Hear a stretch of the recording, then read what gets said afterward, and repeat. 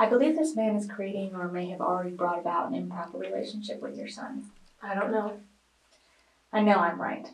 Why you gotta know something like that for sure when you don't? What kind of mother are you? Excuse me, but I don't think you know enough about life to say a thing like that, sister. I know enough. You know the rules maybe, but that don't cover it. I know what I won't accept. You accept what you gotta accept and you work with it. This man is in my school. He's gotta be somewhere. And maybe he's doing some good too. He's after the boys. Maybe some of them boys wanna get caught. That's why his father beat him. Not the wine. What are you telling me? I'm talking about the boy's nature now, not anything he's done. You can't hold a child responsible for what God gave him to be. I'm only interested in actions, Miss Miller. Then there's the boy's nature.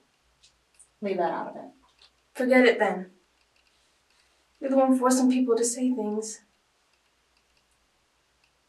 My boy came to your school because they were going to kill him in the public school. His father don't like him. He come to your school, kids don't like him. One man is good to him, this priest. Now, does the man have his reasons? Yes. Everybody does. You have your reasons. But do I ask the man why he's good to my son? No, I don't. I don't care why. My son needs some man to care about him and to see him through the way he wants to go.